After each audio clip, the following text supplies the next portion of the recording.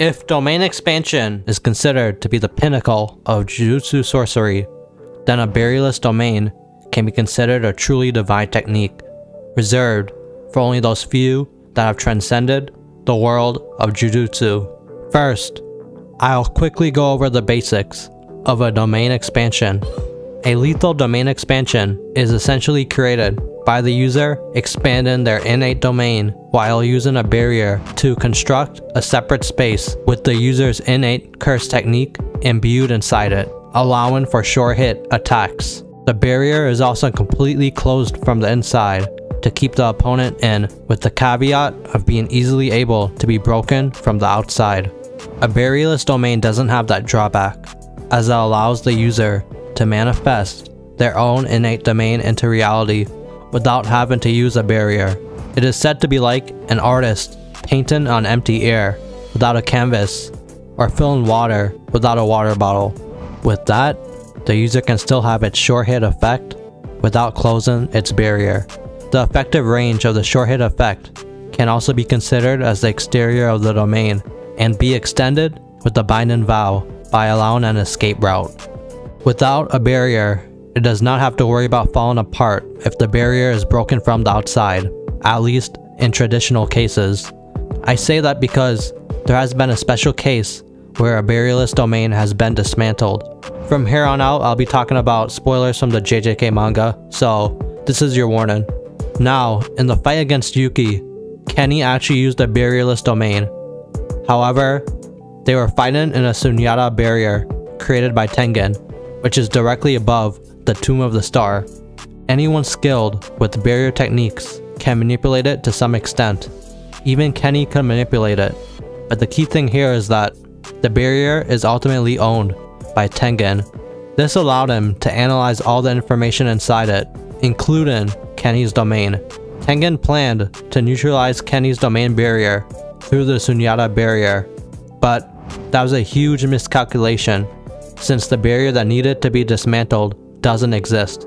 However, by treating the short hit effects range as the exterior, Tengen was able to dismantle the barrierless domain along with the Sunyata barrier.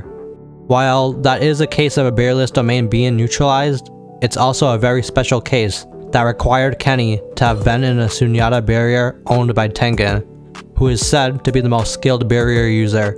However, you might be thinking, what about a domain clash? What if Yuki actually activated her domain expansion at the same time. Now, we might actually have an answer to that.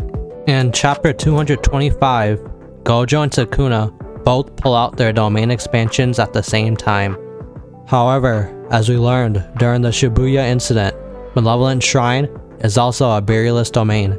On the other end, Gojo's Infinite Void is a closed barrier domain. Essentially, this is a battle between a closed and open domain. While there is a domain clash taking place inside Gojo's barrier, they're only evenly matched inside that barrier. Outside the barrier is a different case. The effective range of Malevolent Shrine can go up to 200 meters with the Bind and Vow.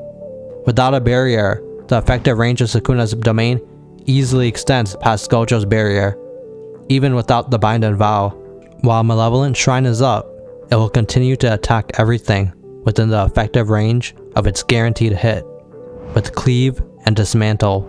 This includes Gojo's barrier, which is being relentlessly attacked by Malevolent Shrine's guaranteed hit. And as I stated earlier, a barrier for domain expansion is weak against attacks from the outside. We see this clearly as Gojo's barrier is shattered before his neck is immediately sliced by Sukuna's guaranteed hit. As we see, a barrierless domain does not directly clash with a closed domain, even if both users are even within a barrier. The one with the barrierless domain can still attack from the outside, and that's why if Yuki had gotten up her own domain expansion, even if they were evenly matched inside the barrier, Kenny would have still been able to destroy your barrier from the outside. I doubt they would have been evenly matched though, as even Yuki's simple domain was easily decimated by Kenny's domain. In hindsight, Gege was probably saving the outcome of these two types of domains for Gojo versus Sukuna, which is probably why we didn't see Yuki use her domain. It's unfortunate, but it still wouldn't have saved her, in my opinion. Barrierless domains really are a cheat code though. Even Gojo, the supposed strongest, struggled against it.